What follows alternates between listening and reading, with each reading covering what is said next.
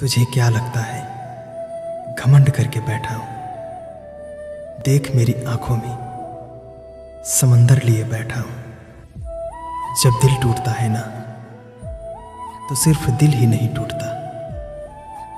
अंदर से पूरा का पूरा इंसान ही मर जाता है।